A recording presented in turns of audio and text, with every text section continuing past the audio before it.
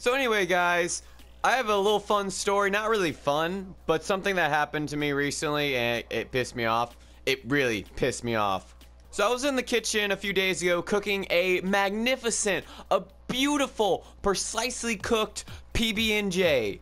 It takes skills to cook a precisely cooked PB&J. What do you think this is, a walk in the park or something? Okay, maybe it is.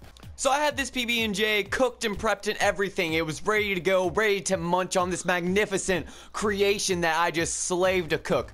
Even though it only probably took like less than five minutes. But hey, it took me some time to cook this beautiful thing that we call a PB&J. And I don't take for granted the PB&Js when I make them.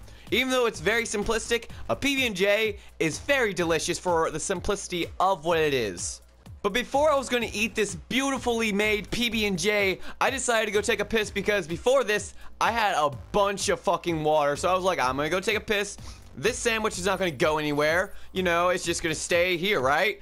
Nope. I, I thought incorrectly, obviously, because when I got back, it disappeared. And you guys may be saying, well, how does that happen? Who took your PB&J? Did like one of your parents or your sister or one of your siblings or something? Nope. Nope, it wasn't my parents because they're at work. My siblings, they don't live here anymore. That narrowed it down to one culprit and one culprit only. And that twisted, sick culprit was my dog. My dog ate my PB&J. She went up to the table and put her head on there and just grabbed it. I'm assuming that's what she did. But somehow she got it. I don't know exactly the precise measurement of what she did to get it, but she got it and ate it.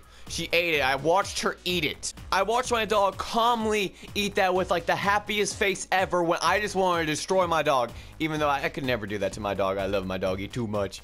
My doggy. But either way, I was super fucking pissed because now I have to do a whole nother process of making a magnificent PB&J. The feeling is worse than finding out Santa Claus isn't real. It's worse than when you're a young kid and you step on a Lego piece that you left on the floor because you're too lazy to clean up the whole floor when your mom tells you to, but you decide not to. I know everyone's done that before if you ever played with Legos, and if you haven't, then you haven't even lived. Like, wh what are you doing with your life? I I'm honestly being serious. What are you doing with your life in that matter? I honestly miss playing with Legos. Those things were the shit when I was a kid. And the G.I. Joes. G.I. Joes back then, oh my god, those were the shit. Both of those combined were just like an orgasm as a kid. Like, it was the best thing ever. Actually, you know what was better than G.I. Joes and Legos combined? Tech Decks. Those little mini skateboards that you play with your fingers. Those things were the best. I would play with those all day. Just all day. You would just hear like little clicking. Just like...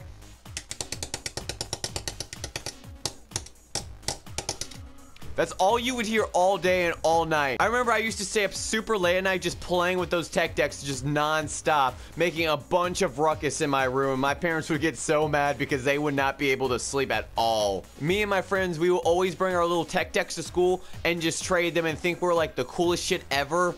Especially like when we learned like a new trick or something on them, we would be like, dude, oh my god, that's so cool. And in actuality, we were just looking like stupid fucks. I remember it was so bad in class because all we would do was just play with the tech decks and not even bother to pay attention to what was going on in the lesson. All we would do is just play with the tech decks and all you heard was a bunch of just clicking and loud noises and occasionally you just hear somebody just yell, Oh! Oh my god! And then you would get in trouble for that because you're being disruptive.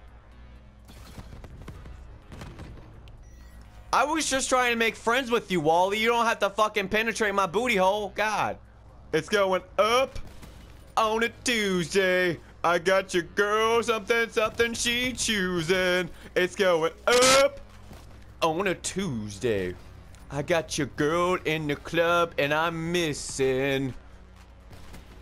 I know that song's old and all, but for some reason, I just got randomly stuck in my head. I don't know why. Have you guys ever just randomly had an old song that you kind of listened to, like on the radio or something, but out of nowhere, you haven't heard it in like months, but it just out of the bloom, like a wrecking ball as Miley Cyrus, it just hits you and it gets stuck in your head?